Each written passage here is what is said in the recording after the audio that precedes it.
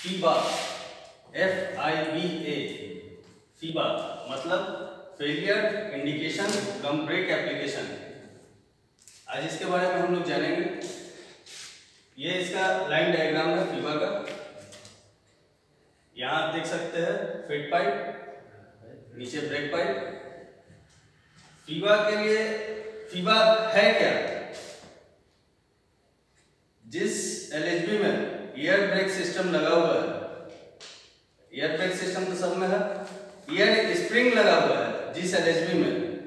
देखिए यहाँ air spring air spring जिस एलएचबी में एयर स्प्रिंग लगा हुआ है उसमें आपका फीबा लगा है।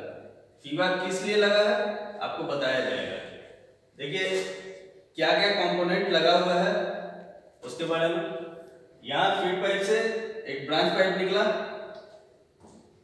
उस ब्रांच पाइप में आइसोलेटिंग बॉक नॉन रिटर्निंग बल्ब एनआरबी और उसके बाद एक मेन रिजर्वर जिसका कैपेसिटी है डेढ़ सौ लीटर। इसमें प्रेशर आ रहा है फ़ीड पाइप से, इसलिए छह K G per centimetre square ठीक है? मेन रिजर्वर में प्रेशर आने के बाद प्रेशर यहाँ से आगे बढ़ा और दोनों ट्रॉली की तरफ़ गया। आप जान रहे एक बोगी में दो, एक कोच में दो बोगी एक इस तरफ़ एक इस तरफ़ तो मेन रिजर्वर से निकलने के बाद दोनों बॉगी में गया। दोनों बॉगी में जाने पर आइसोलेटिंग कॉप उसके बाद फिगर जो दिया हुआ है फिगर थोड़ा सा रॉन्ग है। आइसोलेटिंग कॉप के बाद ये लाइन जाता है ये एक्चुअली रिजर्वर में जो 40 लीटर का लगा हुआ है एक एयर स्प्रिंग के लिए एक एक्चुअली रिजर्वर एक बोगी में दो एक एयर स्प्रिंग तो दो एक्चुअली रिजर्वर 40 40 लीटर का लाइन जब एक्चुअली रिजर्वर में आया उसके बाद यहाँ से निकल के डीसीवी में जा रहा है DCV duplex check bulb duplex check bulb का काम है, दोनों स्प्रिंग को सेम प्रेशर देना। अगर किसी कारण से एक तरफ़ लोड ज़्यादा बढ़ गया तो उसका प्रेशर उतना ही कर देना जितना दूसरा तरफ़ का एयर स्प्रिंग में है। ठीक? ड्यूप्लेक्स चेक बल्ब से निकलने के बाद लाइन जाता है लेबलिंग बल्ब में। एल वी लेवलिंग बल्ब और लेवलिंग बल्ब के बाद एयर स्प्रिंग यहाँ तक सारा 6 K G per centimetre square क्योंकि फ़ीड पाइप से निकल गया है। ठीक है। अब आप बोलिए यहाँ तक में कहीं फीवा नहीं हम बता रहे हैं फीवा के बारे में यहाँ तक में कहीं फीवा नहीं ठीक है?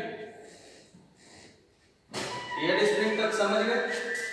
उसके आगे देखिए यहाँ फीवा लगा हुआ है।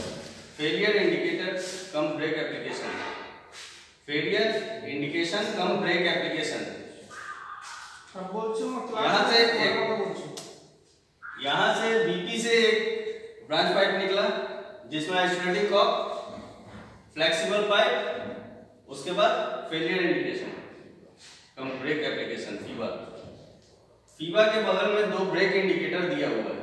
किस लिए दिया हुआ है? तो जिस समय फीवा फेलियर होगा, उस समय ये ब्रेक इंडिकेटर रेड हो जाएगा। फीवा फेलियर कब होगा? किसी भी कारण से, किसी भी कारण से अगर एयर स्प्रिंग का प्रेशर एक के जी पर सेंटीमीटर स्क्वायर कम हुआ, वो लीकेज से हो सकता है। लीकेज से भी प्रेशर कम हो सकता है। या और भी कोई भी कारण से अगर एयर स्प्रिंग का प्रेशर एक के जी कम हुआ तो फीवा में एक सेंसर लगा हुआ है। जो सेंसर का पोर्ट खुलेगा और बीपी का प्रेशर फीवा के नीचे पोर्ट से बाहर आना शुरू हो जाएगा। जैसे ही बीपी का प्रेशर बाहर आना शुरू हुआ, सारे कोच में ब्रेक एप्लीकेशन हो जाएगा।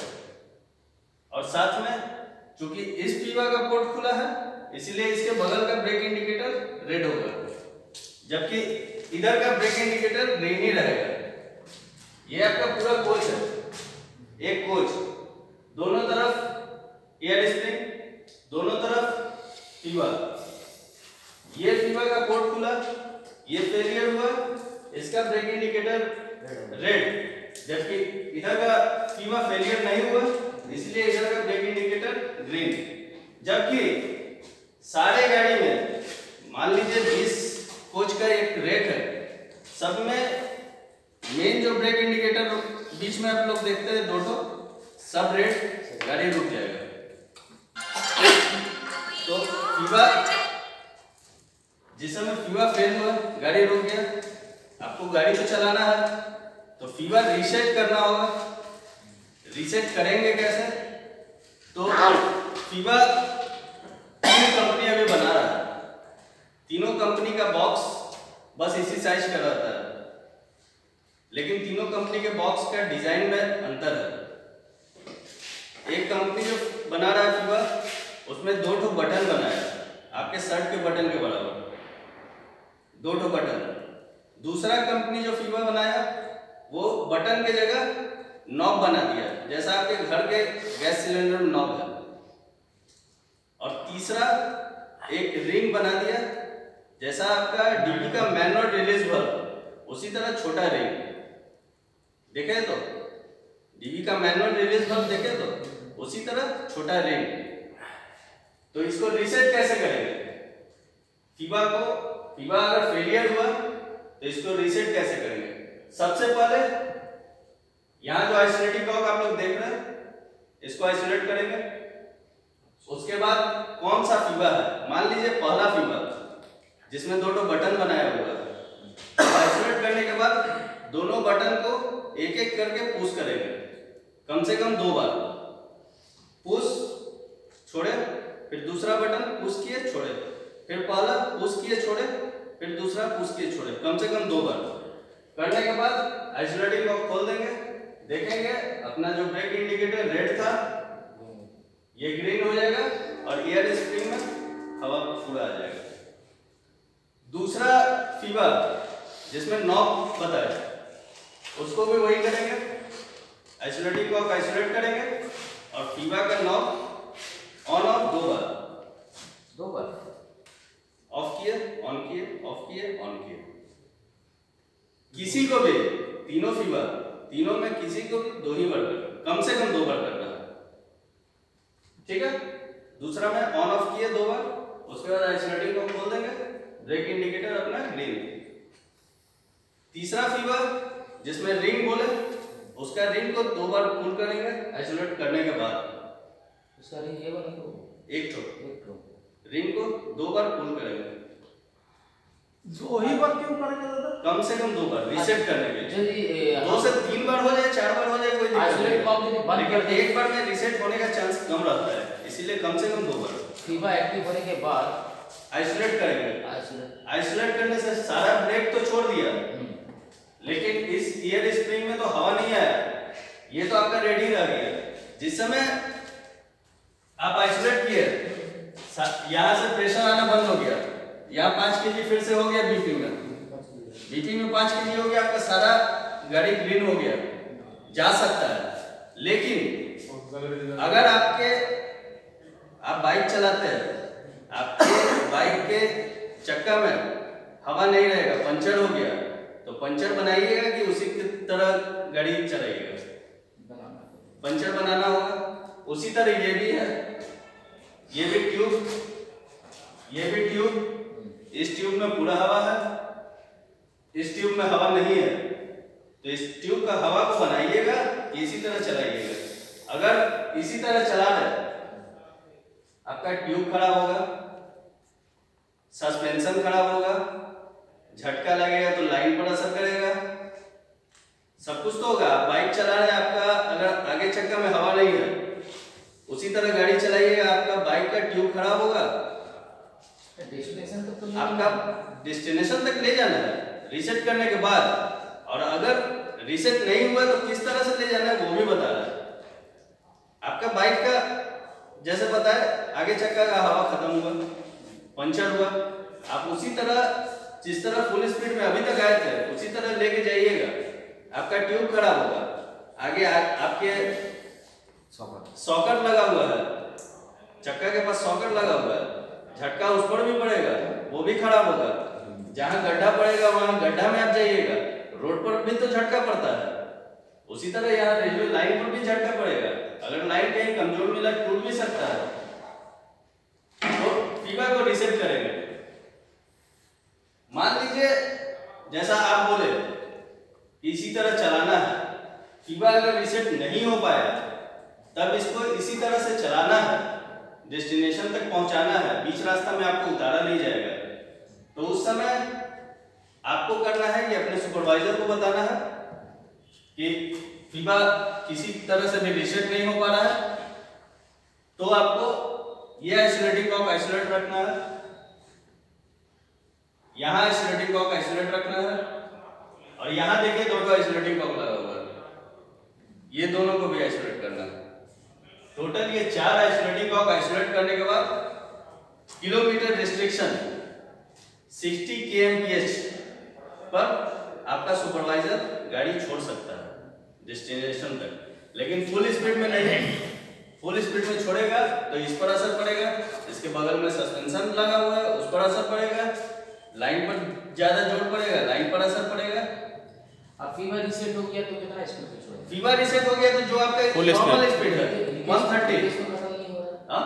लीकेज तो खत्म नहीं हो रहा फीवर रिसेट हो जाएगा ऑटोमेटिक ये लीकेज खत्म हो जाएगा। ये तो रीसेट हो गया। रीसेट हो गया रीसेट हो। गया यहाँ से हवा निकलना बंद हो गया। हवा निकलना बंद हुआ ब्रेक इंडिकेटर ग्रीन हो गया। जब ग्रीन हो जाएगा इधर से अपने आप हवा भर जाएगा। सस्पेंशन जब मेरा लीकेज हो गया तो फिर रीसेट कैसे हो रहा है? फीवर रिसेट हो रहा है। Air suspension FIBA leakage air air spring अगर लीकेज हुआ। मतलब मतलब आपका कहने का मतलब यहाँ से अगर हाँ, लीकेज हो गया। यहाँ से लीकेज हुआ तो आप कुछ नहीं कर सकते। तो आपको बताया जा रहा है फीवा अगर यहाँ से लीकेज हुआ फीवा एक्टिव हुआ फीवा एक्टिव हुआ तो उसको रीसेट कैसे करना है? फीवा फीवा- बताया गया। फीवा आप लोग समझ गए। अगर यहाँ से लीकेज हुआ इन रूट में तो आपको वही करना है सारा और डेस्टिनेशन तक 60 kmph के स्पीड में। ये आप इन रूट में एयर स्प्रिंग ना चेंज कर सकते हैं ना इसको रेक्टिफाई कर सकते हैं। ये चेंज ही करना पड़ेगा। उसी जहाँ- उसी के लिए तो फीवर एक्टिव हो रहा है। यहाँ के लीकेज से भी फीवर एक्टिव होगा। बहुत सारा कारण है जिसके कारण फीवर एक्टिव हो सकता है। लीकेज के कारण तो होगा ही। लीकेज अगर एक के से ज़्यादा होगा हम तब इधर का आइसोलेट को बंद कर दें। थोड़ा बहुत भी जो होगा तो जैसे तो तो फिर और आस्ते आस्ते डाउन हो जाएगा। हाँ ऐसे में यदि हम इधर का इधर का बंद करते हैं इधर का यदि खुला रखते हैं कम से कम तो चार्ज तो रेलवे रहेगा। रेलवे जो भी कह रहा है आपको करना है तो सब करना है। आप इधर से दे रहे हैं। हम्म, आपका फीडबैक में हर समय प्रेशर आ रहा है। कंप्रेसर हर समय चल रहा है। मेरा कहना है हम अगर अगर यहाँ से आ रहा है प्रेशर हाँ, यहाँ से निकल जा रहा है इसका मतलब तो कंप्रेसर हर समय इंजन का चल रहा है। हाँ, इंजन का कंप्रेसर हर समय चलेगा तो शट डाउन होगा। किसी को भी तो रेस्ट चाहिए। रेस्ट तो किसी को भी चाहिए। थोड़ा देर का भी मिले लेकिन मिले। यहाँ से तो हवा हर समय निकल रहा है। यहाँ से हवा अगर निकल रहा है इसका मतलब यहाँ से हवा हर समय आ रहा है। हर समय आ रहा है इसका मतलब कंप्रेसर हर समय चल रहा है। इंजन खराब होगा शट डाउन होगा। नहीं यदि हम इधर तीन का बंद करते हैं। हम्म, बोलिए। तीन का आइसोलेट हिलाया करते हैं। हम्म, और इधर का दो को छोड़ देते हैं तो फ़ीड पाइप कम से कम हमारा तो जो लीकेज हो रहा है उसको तो भरते रहेगा। लीकेज होगा भरते रहेगा लेकिन जितना प्रेशर आपका यहाँ पर है उतना तो नहीं कर पाएगा। ना। और इंजन भी तो चालू हर समय रहेगा। कंप्रेसर कंप्रेसर कंप्रेसर कंप्रेसर जिस समय आपका गाड़ी में पूरा प्रेशर हो जाता है आप देखिएगा कंप्रेसर बंद हो जाता है। मेरा कहना है कि इन तीनों को बंद करके हम स्पीड रेस्ट्रिक्शन नहीं बढ़ा सकते नहीं करेंगे। स्पीड रेस्ट्रिक्शन नहीं पड़ेगा हम लोग अगर सबको भी बंद कर दें तो स्पीड रेस्ट्रिक्शन नहीं बढ़ेगा। स्पीड रिस्ट्रिक्शन ही रहेगा 60 के का, क्योंकि इधर इधर के मुकाबले हवा कम है। तो इधर झटका ज़्यादा